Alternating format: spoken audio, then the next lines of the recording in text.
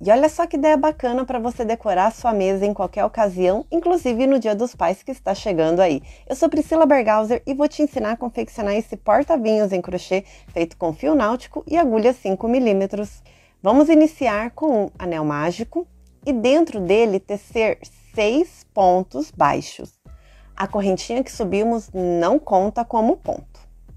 Ao final, feche e vamos iniciar a nossa primeira carreira de aumento tecendo dois pontos baixos para cada ponto à nossa frente, totalizando 12 pontos ao final.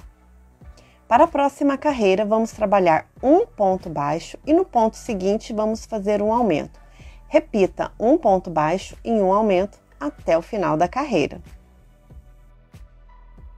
Para a próxima carreira, vamos trabalhar agora dois pontos baixos e um aumento no terceiro ponto de base. Siga assim até o final. Na próxima carreira, vamos trabalhar três pontos baixos e no quarto ponto, um aumento. Siga esse padrão até o final da carreira. A depender do fio utilizado e também da base da garrafa, pode ser que seja necessário fazer uma quantidade maior de carreiras e, consequentemente, de aumentos. Para isso, use sempre a garrafa como base para você tecer a sua peça. Perceba que eu fiz uma carreira a mais que o diâmetro do fundo da garrafa. Para iniciarmos a próxima carreira, eu começo com um ponto baixíssimo no próximo ponto e na sequência teço na laçada de trás dos pontos uma carreira em ponto baixo, ao mesmo tempo que eu já vou virando essa carreira para dentro da peça. Siga assim até o final da carreira. Ao final da carreira, pule o próximo ponto, que é um ponto baixíssimo, e vá para o ponto baixo seguinte e teça um ponto baixo. A partir de agora, vamos trabalhar ponto baixo sobre ponto baixo normal, sem nenhum aumento, diminuição ou qualquer efeito. E assim você já começa a perceber a subida do seu porta-vinhos.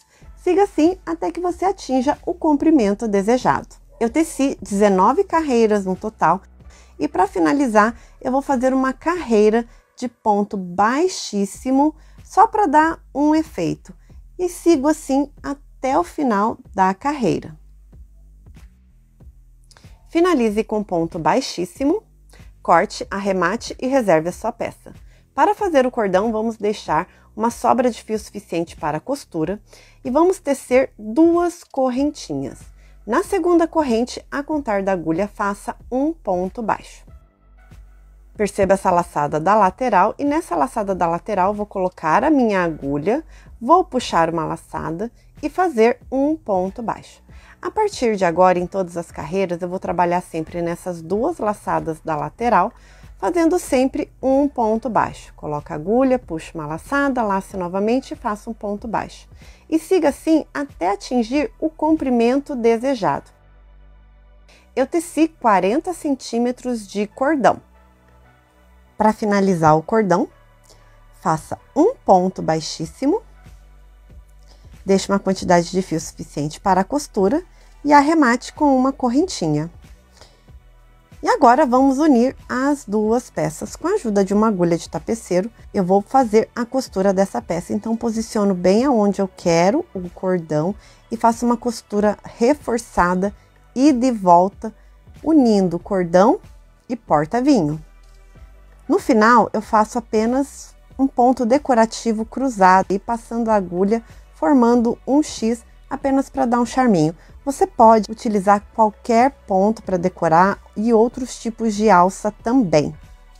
E por fim, seu porta-vinhos está pronto para você presentear, decorar a sua mesa, enfeitar qualquer cantinho da sua casa. Conta aí para mim o que vocês acharam desse porta-vinhos. Beijos e até a próxima!